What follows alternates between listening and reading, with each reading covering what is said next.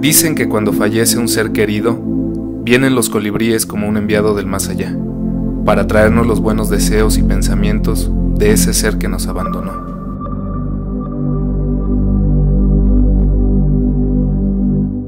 Los colibríes son chiquitos y son los mejores voladores de la naturaleza sin lugar a dudas. Eh, más o menos 200 batidos de alas por segundo cuando están haciendo actividades como acrobáticas, ¿no? como de atracción de las hembras, etc. Eh, son animales que pueden volar en todas las direcciones, pueden ir para adelante como todos los demás, pueden ir también para atrás, como en reversa, digamos, pero también se pueden mantener volando parados, ¿no? que eso se le llama revoloteo. En América hay 330 especies de colibríes y en México hay 58 de esas 330. En México tenemos todas las especies de Norteamérica, porque resulta que hay alrededor de 17 especies de colibríes que en verano se van a Estados Unidos y Canadá a reproducirse y en cuanto empieza a hacer frío se vienen a México a pasar el invierno. El 98% de su dieta es néctar que proviene de las flores. Las plantas producen este néctar como una recompensa a los colibríes para que los colibríes vayan a visitarlas y muevan el polen, que es la célula masculina de la planta, y la transporten hacia otra planta y la lleven a la que contacte a la parte femenina de la planta, llevando a cabo la reproducción sexual de las plantas. Los colibríes son responsables de la polinización de un número muy grande de especies en la naturaleza, es decir, le ayudan a producir sus frutos, sus semillas, y las semillas pues son la nueva planta. Y es por eso que estoy promoviendo este proyecto de hacer jardines en la ciudad. Eh, comenzamos en 2014 con un jardín que está funcionando muy bien, que se hizo en la FES Iztacala. La FES Iztacala es un campus de la UNAM que está en el norte, está en Tlanepantla. Eh, es un campus eh, muy característico porque está rodeado por mucha industria.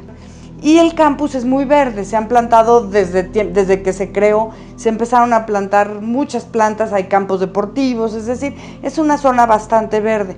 Y ahí hicimos el primero en 2014 y llegan muchísimos colibríes. Y de ahí me empezaron a pedir este, jardines en todos lados. Entonces empecé a hacerlos en los institutos de educación media superior de la Ciudad de México, que son preparatorias pues públicas también como la UNAM. Es un proyecto que cuesta muy poquito dinero y con el que entusiasmamos a muchas personas.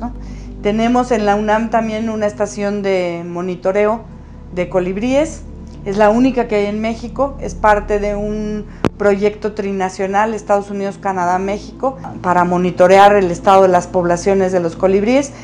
Eso lo hacemos con mis alumnos de licenciatura, de maestría y doctorado y se hace en una parte de la reserva del Pedregal de San Ángel que se llama la Cantera Oriente. Es un terreno que está cerca del metro, del metro CU. Ahí es un terreno que se restauró en la UNAM, tiene hasta unos laguitos, es un lugar increíble. Estamos aquí en la Cantera Oriente, es parte de la Reserva Ecológica del Pedregal de San Ángel. Nosotros somos el grupo de trabajo de la doctora María del Coro Arismendi en la, de la FESISTA Cala. Entonces lo que estamos haciendo aquí es anillamiento de colibríes, estamos monitoreando la población de colibríes que están justamente en esta zona. Aquí está el grupo de trabajo, tenemos los estudiantes de servicio social, tesistas. Para atrapar los colibríes ponemos estas redes que pues, se ponen con tubos y unas redes especializadas para colibríes o para cualquier tipo de ave.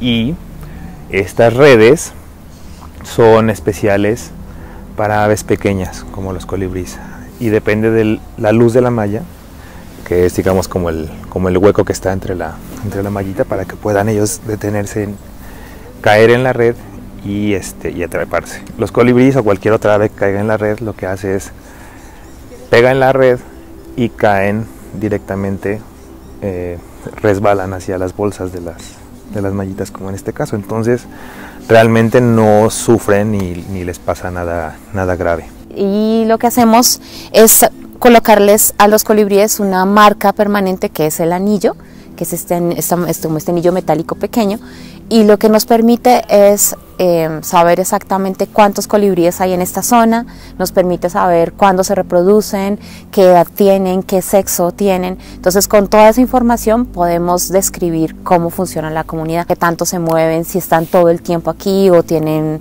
o tienen como movimientos locales. Entonces llevamos ya haciendo esto por seis años, siete años. Lo que estamos haciendo nosotros desde el laboratorio es les colectamos el polen del pico, de la cabeza y del pecho, que son las partes del cuerpo, son las que tocan a las flores y es de donde se les pega el polen.